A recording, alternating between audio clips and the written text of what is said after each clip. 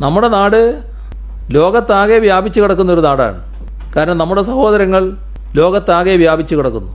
അവർ മണലാരണ്യത്തിലടക്കം കഠിനമായി അധ്വാനിച്ച് അവരുടെ വേർപ്പിന്റെ കാശിലാണ് നാം ഇവിടെ കഞ്ഞി കുടിച്ച് നടന്നിരുന്നത്. ഇത് നാം മറന്നു പോകാൻ പാടില്ല. നമ്മുടെ നാടിന്റെ നട്ടെല്ലാണ് പ്രവാസികൾ. അവർ പോയ രാജ്യങ്ങളിൽ ചില പ്രശ്നങ്ങളുണ്ടായപ്പോൾ സ്വാഭാവികമായും അവർ നാട്ടിലേക്ക് തിരിച്ചു വരാൻ ആഗ്രഹിക്കില്ലേ? തിരിച്ചു വന്നപ്പോൾ ന്യായമായ പ്രതിരോധ നടപടികൾ പൊതുവിൽ എല്ലാവരും സ്വീകരിച്ചിട്ടുണ്ട്. ഒറ്റപ്പെട്ട ചില കേസുകളാണ് വ്യത്യസ്തമായി ഉണ്ടായത്. ആ ഒറ്റപ്പെട്ടതിന്റെ ഭാഗമായി ഈ പറയുന്ന നമ്മുടെ നാടിന്റെ ഏറ്റവും കരുത്തുറ്റ വിഭാഗത്തെ ഒരു തരത്തിലും അപഹസിക്കാനോ മനസ്സിൽ ഈർഷ്യയോടെ കാണാനോ പാടില്ല.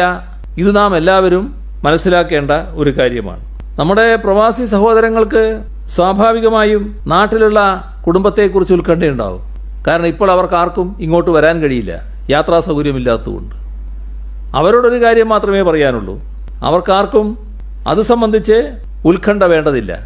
നിങ്ങളവിടെ സുരക്ഷിതരായി കഴിയുക. അതിന്റെ ഭാഗമായുള്ള സാമൂഹ്യ ഉത്തരവാദിത്വം നിർവഹിക്കാനും തയ്യാറാവുക.